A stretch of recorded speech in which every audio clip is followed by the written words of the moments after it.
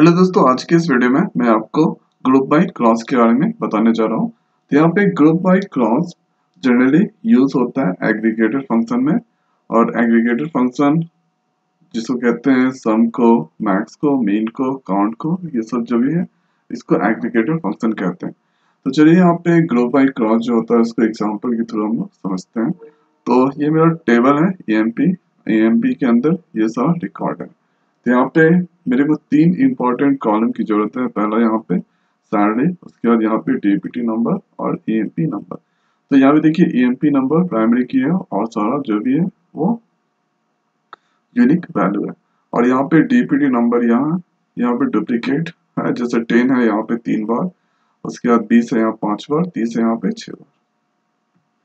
ठीक है? तो यहाँ पे आप चलिए एग्ज़ाम्पल देखते हैं, यहाँ पे।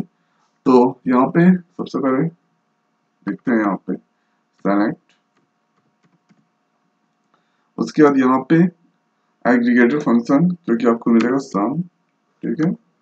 उसके बाद यहाँ पे सम अब सम इसमें किसमें करने जा रहे हैं? तो यहाँ पे सैलरी जो है सैलरी कॉलम इसमें हम सम करने जा रहे हैं, ठीक है? तो यहाँ पे ब्रैकेट में डाल दीजिए उसके बाद यहाँ पे ब्रैकेट कॉल कर। दीजिए उसके बाद क्लोज करने के बाद यहाँ पे कहा से? फ्रॉम और टेबल का यूज़ करें ईएमपी तो ईएमपी दे दिए यहाँ पे। ठीक है? उसके बाद सेलेक्ट सम उसके बाद फ्रॉम यहाँ पे सैलरी को सम करना है तो यहाँ पे ये क्यूरी लिख रहे हैं। चलिए इसको एग्जीक्यूट करके देख रहे हैं। तो यहाँ पे देखिए, और सम सैल यहाँ पे two five zero seven five तो ये जो सैलरी जो दिख रहा है, ठीक है, इसको एग्जीक्यूट करना। तो यहाँ पे देखिए, ये जो सैलरी दिख रहा है, ये जो भी है, यहाँ पे सारे डिपार्टमेंट का, ठीक है, सारे एम्प्लॉय जो भी है, उसका जितना भी जोड़ के ये सैलरी यहाँ पे दिखा रहा है। ठीक है इस क्यूरी को एग्जीक्यूट कीजिएगा। तो ये सारा जो भी एम्प्लॉय था, उसका यहाँ पे दिख रहा और सम सैलरी दिख रहा ठीक है? और इसी तरह से यहाँ पे सम एग्रीगेटर फ़ंक्शन है, अगर मैक्स भी एक एग्रीगेटर फ़ंक्शन है तो अगर मैक्सिमम सैलरी देखना है, सबसे ज़्यादा सैलरी ठीक है? तो यहाँ पे आप एग्जीक्यूट कीजिए तो यहाँ पे देखिए मैक्सिमम सैलरी यहाँ पे पाँच हज़ार। अगर आपको यहाँ पे चेक करना है तो यहाँ पे देखिए, इसमें आप चेक कीजिए, सबसे बड़ा क्या है? पाँच हज़ार। उसके अलावा कोई नहीं। ठीक है? उसी तरह से मैक्स के बाद मीन भी कर सकते हैं कॉन्ट भी यूज़ कर सकते हैं। तो इस तरह से हम लोग एग्रीगेटर फ़ंक्शन का यूज़ करते हैं। अब चलिए अगला एग्जांपल यहाँ पे देखते हैं। तो यहाँ पे सेलेक्ट स्टेटमेंट का यूज़ कर रहे हैं। उसके बाद सेलेक्ट हम क्या करेंगे? सबसे पहले यहाँ पे हम डीपीटी नंबर जो है इसको हम सेलेक्ट करते हैं। अब यहाँ पे सब में हम सैलरी कर देते हैं। सैलरी कॉलम डाल देते हैं। उसके बाद यहाँ पे कहाँ से? तो टेबल का नाम दे दीजिए। From E M P E M P table से। ठीक है? उसके बाद यहाँ पे ग्रुप बाई तो हम ग्रुप बाई कर रहे हैं। डीपीटी नंबर अब देखिए, इतना सारा कॉलम है। हम ग्रुप बाई डीपीटी नंबर ही क्यों कर रहे हैं? क्योंकि यहाँ देखिए दस जो है, तीन बार ठीक है? तो इसको एक ग्रुप में करके ये कैलकुलेशन यहाँ पे सैलरी का करेगा। जैसे दस को एक ग्रुप में डाल देगा, ठीक है? जैसे ये दस है, इसका सैलरी यहाँ पे तेरह सौ है, ठीक है? ये दस है, उसके बाद यहाँ पे इसका सैलरी पाँच हज़ार है, उसके बाद ये एक दस है, इसका salary two four five zero तो यहाँ पे दस को एक ग्रुप में डाल के इसका कैलकुलेशन ये करेगा। तब यहाँ तेरह सौ जोड़ेगा पाँच हज़ार जोड़ेगा, उसके बाद टू फोर फाइव ज़ीरो जोड़ेगा। ठीक है, चलिए इस क्यूरी को एग्जीक्यूट कर रहे हैं। तो यहाँ पे सेलेक्ट यहाँ पे unknown column DPT number okay यहाँ पे डीईपीटी नंबर तो यहाँ पे देखिए और डीपीटी नंबर टेन है, इसका sum salary eight seven five zero और थर्टी का एट फोर फाइव ज़ीरो और ट्वेंटी का सेवन एट सेवन फाइव अगर आपको यहाँ पे चेक करना है तो इसको एक्सिक्यूट कीजिए। उसके बाद यहाँ पे देखिए सैलरी है तो यहाँ बीस का आठ सौ है। उसके बाद यहाँ पे बीस आता है, उसके बाद यहाँ पे टू नाइन सेवन फाइव है। तो ये सबका आप चेक कीजिएगा और ट्वेंटी का सैलरी एक जगह। तो आपको ये आउटपुट आएगा। यहाँ पे आपको ट्वेंटी का सेवन एट सेवन फाइव आएगा। अब यहाँ पे चलिए ऐसा करते हैं कि हम यहाँ पे ग्रुप बाई और नहीं देते हैं, ठीक है? यहाँ पे हम इसको हटा देते हैं। अब देखते हैं इस क्यूरी को एग्जीक्यूट करके क्या होता है। तो यहाँ पे देखिए, और डीपीटी नंबर और ट्वेंटी ये ट्वेंटी दिख रहा है, उसके बाद यहाँ पे sum two five zero seven five तो यहाँ पे हमने जब ये हटाया, ठीक है तो यहाँ पे ग्रुप बाई नहीं दिया, ठीक है तो यहाँ पे एक रॉन्ग आउटपुट है ना, सही आउटपुट नहीं है। Two five zero seven five ठीक है? तो यहाँ पे अगर वही आप इस चीज़ को यहाँ पे, अगर इस तरह का क्यूरी अगर यहाँ पे आप देखिएगा, जैसे यहाँ पे एक, और जैसे यहाँ पे एक स्कॉट स्कीमा है, ठीक है? उसके बाद यहाँ पे? ठीक है, यहाँ पे ये क्यूरी हम लिखते हैं, ठीक है? इस क्यूरी को हम पेस्ट करते हैं, सबसे पहले। यहाँ पे मैं माई एसक्यूएल यूज़ कर रहा हूँ और यहाँ पे एसक्यूएल सर्वर ठीक है? तो सेलेक्ट यहाँ पे। तो एस्कॉट यहाँ पे सिर्फ़ टेबल का नाम चेंज कर देना। एस्कॉट डॉट ई एम पी बाकी सब चीज़ एक ही है। चलिए इसको एग्जीक्यूट कर रहे हैं। यहाँ पे सब सही है। लेकिन यहाँ पे अगर हम इस चीज़ को हटा देते हैं, हटा देते हैं और फिर एग्जीक्यूट करते हैं। तो यहाँ पे ये मैसेज प्रिंट हो रहा है। ये मैसेज ये प्रिंट हो रहा है कि यहाँ पे आप और डीपीटी नंबर जो है, यहाँ पे डीपीटी नंबर को या फिर एग्रीगेटर फ़ंक्शन होना चाहिए या फिर ग्रुप फ़ाइल लेकिन वही अगर माई और स्क्वेयर में आप सेम क्यूरी एग्जीक्यूट करेंगे यहाँ से तो ठीक है, यहाँ पे ये इस तरह का आउटपुट आ रहा है रॉन्ग आउटपुट आ रहा है। तो सही चीज़ करने के लिए अगर यहाँ पे डीपीटी नंबर को एक सही पॉइंट बनाने के लिए डीपीटी नंबर जो भी होगा, या फिर ये एग्रीगेटर फ़ंक्शन होना चाहिए या फिर एक ग्रुप फ़ाइल होना चाहिए। अगर आप ये यहाँ पे ऐसा कर देते हैं, तब जाके ये करेक्ट आउटपुट आ रहा है, ठीक है? तो यहाँ पे एक पॉइंट है। अब चलिए ऐसा करते हैं। अगला यहाँ पे एग्जांपल देखते हैं हम।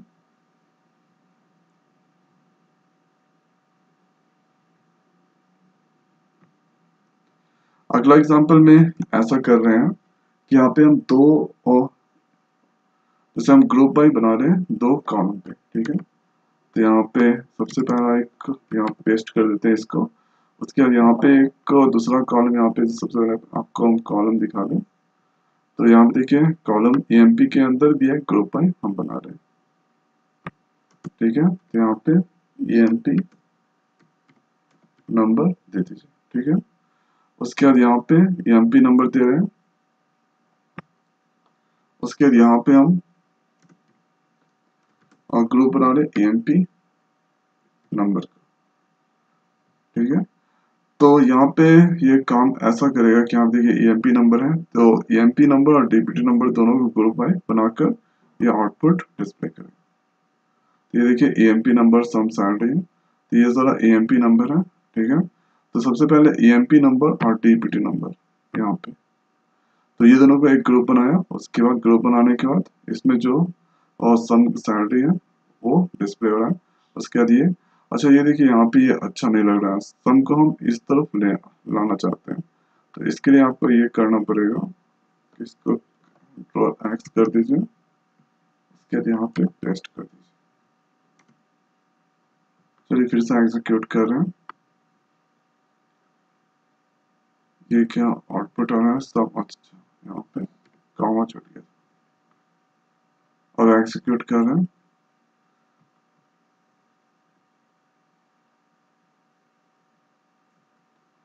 तो यहाँ पे देखिए, जो भी सम है सैलरी का तो यहाँ पे डी ट्वेंटी और ये एम्प्लॉय एक ग्रुप में आकर इसके सैलरी को सम किया तो एट हंड्रेड है। इसी तरह से यहाँ पे इस दोनों को सम किया यहाँ पे सिक्सटीन हंड्रेड तो ये क्यूरी दिखाने का मेरा मतलब ये है कि आप यहाँ पे ग्रुप आई, दो कॉलम में भी डाल सकते हैं, दो से ज़्यादा कॉलम में डाल सकते हैं। ठीक है? अब यहाँ पे अगला चेक कर रहे हैं। जैसे यहाँ पे हम सेलेक्ट स्टार्ट फ्रॉम और एम्प्लॉय ले रहे हैं। इसको हम कॉपी कर रहे हैं।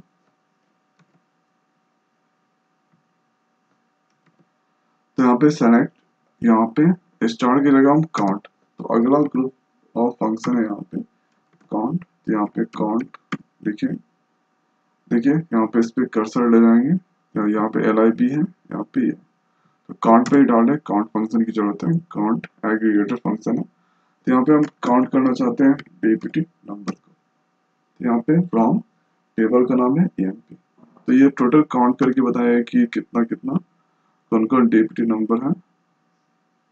तो यहाँ पे देखिए, ये पूरा जो भी डीपीटी नंबर है, ये बता रहा है।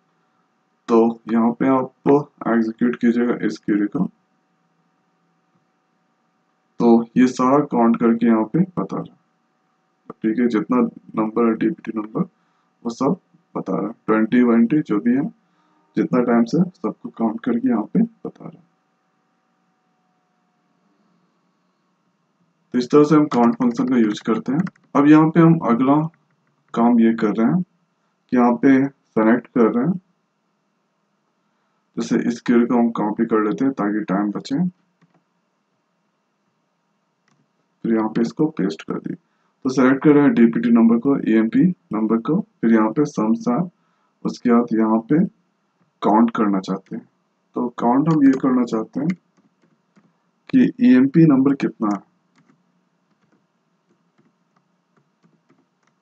ईएमपी e नंबर को हम काउंट करना चाहते हैं, ठीक है? उसके बाद यहाँ पे? टेबल e से उसके बाद इस दोनों को मैंने ग्रुप में बता बना दिया। चलिए एग्जीक्यूट कर रहे हैं। तो यहाँ पे देखिए सारा e जो भी है, यहाँ पे सब एक एक करके इसलिए यहाँ पे ये एक दिख रहा है। ठीक है? तो वही अगर आपको सिर्फ़ वो यहाँ पे और डीपीटी नंबर को काउंट करना है तो यहाँ पे आप काउंट फ़ंक्शन का यूज़ कीजिए और यहाँ पे e नंबर की जगह आप डीपीटी नंबर डाल दीजिए। तो डीपीटी नंबर क्या है? और डुप्लीकेट है। अब यहाँ पे ईएमपी e नंबर को डिस्प्ले करना है तो करा सकते चलिए एग्जीक्यूट कर रहे हैं। तो ये देखिए, यहाँ पे और 20 कितने बार है? चार बार है। 20 उसके बाद 30 पाँच बार है और 10 तीन बार। अगर यहाँ से आपको काउंट करना है तो काउंट भी कर सकते हैं। जैसे आप ये क्वेरी को एग्जीक्यूट कीजिए सेलेक्ट स्टार्ट फ्रॉम तो यहाँ पे और डीपीटी नंबर ट्वेंटी यहाँ पे एक बार है, ये दो बार है, फिर यहाँ पे ये तीन।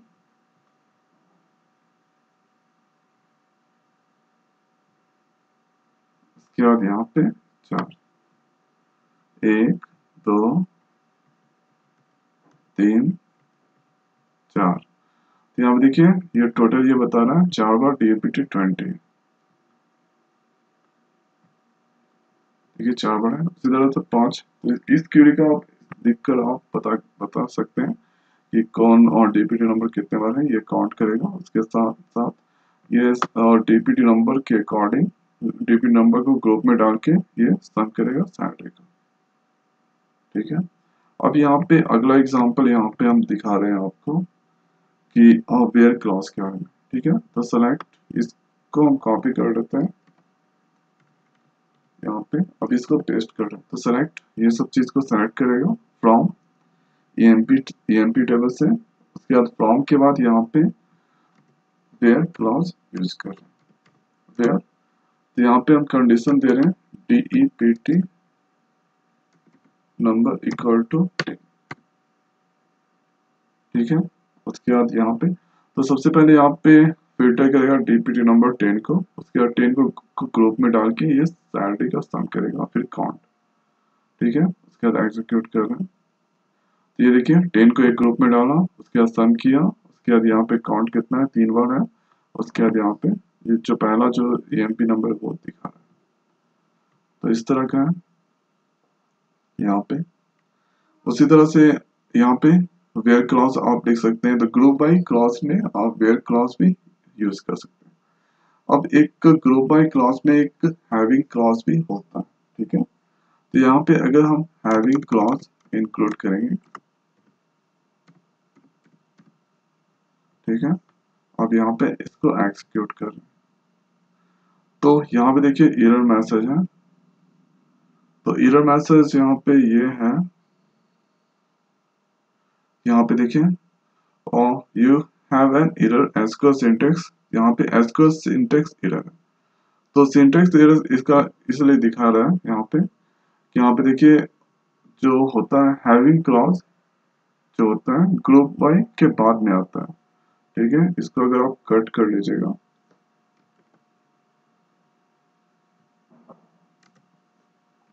उसके बाद यहाँ पे इसको मैंने पेस्ट कर दिया। अब इसको एक्सिक्यूट करेंगे, तब जाके ये सही काम करेगा। सही काम कर रहा है सेम आउटपुट आ रहा है जो वेयर क्लॉज में। वेयर क्लॉज में और यहाँ पे दोनों में सेम आउटपुट आ रहा है, ठीक है? लेकिन यहाँ पे डिफरेंस बताते हैं कि यहाँ पे, और group by clause having clause group by clause के बाद आता है, और where clause group by clause के पहले आता है। ये पहला डिफरेंस है, और यहाँ पे एक और डिफरेंस मैंने बताया था कि आप और वेयर क्लॉज के साथ कोई भी एग्रीगेटर फ़ंक्शन का आप यूज़ नहीं कर सकते। ठीक है? वेयर क्लॉज के साथ कोई भी एग्रीगेटर फ़ंक्शन का आप यूज़ नहीं कर सकते। अगर यूज़ करेंगे तो एरर शो होगा। ठीक है? तो ये इंपॉर्टेंट डिफरेंस है। अगर यहाँ पे तो यहाँ पे ये इंपॉर्टेंट डिफरेंस है। एक और देख लेते हैं यहाँ पे। जैसे मैंने इसको कॉपी किया पेस्ट किया। ठीक है? उसके बाद यहाँ पे सेलेक्ट स्टार्ट फ्रॉम ये सब चीज़ को सेलेक्ट किया टेबल यहाँ पे, उसके बाद यहाँ पे हम वेयर क्लॉज का यूज़ कर रहे हैं। ठीक है, यहाँ पे तो वेयर क्लॉज जब भी आता है, ये पहले आता है, उसके बाद वेयर तो यहाँ पे सम तो यहाँ पे सम उसके बाद टेबल का, यहाँ पे कॉलम का नाम दे दीजिए सैम ठीक है उसके बाद यहाँ पे ग्रेटर देन वन थाउज़ेंड कर रहे हैं ठीक है तो ये एक क्यूरी है यहाँ पे तो यहाँ पे इसको दिखाने का मतलब ये है कि वेयर क्लॉज के साथ आप सम एग्रीगेटर फ़ंक्शन का यूज़ नहीं कर सकते चलिए एग्जीक्यूट कर रहे हैं तो यहाँ पे invalid use of group function तो यहाँ पे इसका यूज़ नहीं कर सकते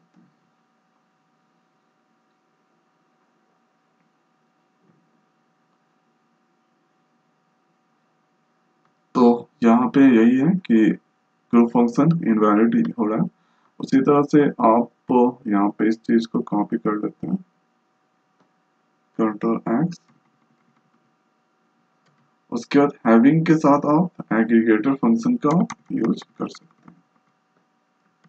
यहाँ पे इसको मैंने इंक्लूड कर दिया। अब देखिए सही आउटपुट है ठीक है। सही आउटपुट आ रहा है यहाँ पे। तो यहाँ पे डीपीटी नंबर ट्वेंटी को काउंट किया, उसके बाद टेन को काउंट किया, उसके बाद थर्टी को काउंट किया। सबको काउंट करने के बाद यहाँ पे सैलरी का सम कर रहा है, और उसके बाद ये सब है। तो यहाँ पे देखिए, और सेलेक्ट यहाँ पे ये सारा कॉलम को सेलेक्ट किया एम्प्लॉय टेबल से, उसके बाद ग्रुप बाय तो सबसे पहले इसने ग्रुप बनाया डीपीटी नंबर का। तो फोर्टी को एक जगह सॉरी टेन को एक जगह ट्वेंटी को एक जगह थर्टी को जगह, एक जगह। उसके बाद यहाँ पे आके कंडीशन चेक कर रहा है कि यहाँ पे सैलरी जो है, ये एक हज़ार से ऊपर होना चाहिए। तो एक हज़ार से सम सारा ऊपर है ठीक है, यहाँ पे ये डिस्प्ले हो तो यहाँ पे आप वेयर क्लॉज यहाँ पे ग्रुप बाई क्लॉज के साथ यूज़ नहीं कर सकते। तो ये इंपॉर्टेंट डिफरेंस है। तो जनरली ग्रुप बाई क्लॉज और ग्रुप बाई जो स्टेटमेंट होता है, उसका यूज़ किया जाता है कि और किसी भी कॉलम का जो भी रिकॉर्ड होता है या फिर यहाँ पे ईएमपी रहे।